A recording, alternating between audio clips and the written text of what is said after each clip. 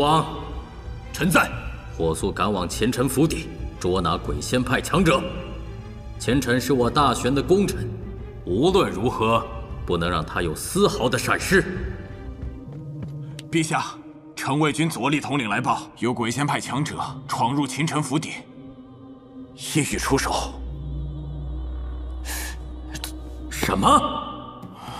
鬼仙派这么快就到了？风儿，你确定是鬼仙派之人？此乃左立统领所报，应该无误。而且根据城中卫兵线报，除城西外还有一支鬼仙派队伍，正往城东而去，所去方向似乎是定王府。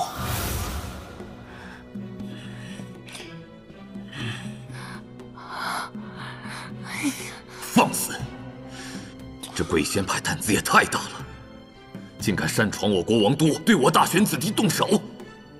真当我大玄无人了吗？陛下，还请下令将来犯者诛杀，以正我大玄国威。陛下，王都乃我大玄要地，岂能任由鬼仙派肆意践踏？倘若传了出去，将有辱我大玄的声誉。还望陛下速速发令。这鬼仙派也太不把朕放在眼里了。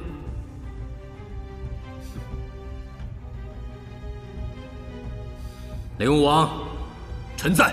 火速赶往前臣府邸，捉拿鬼仙派强者。前臣是我大玄的功臣，无论如何。不能让他有丝毫的闪失。是，康王。臣弟在。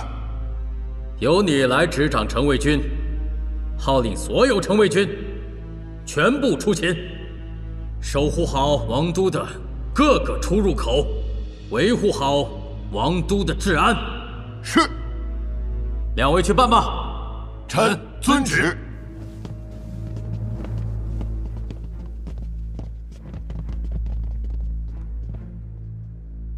陛下，好了。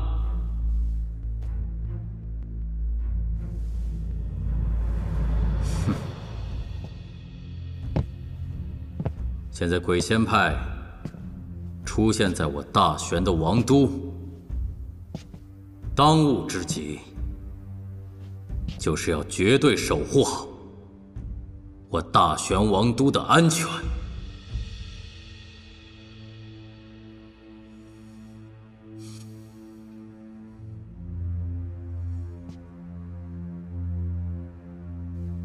钱远红，臣在。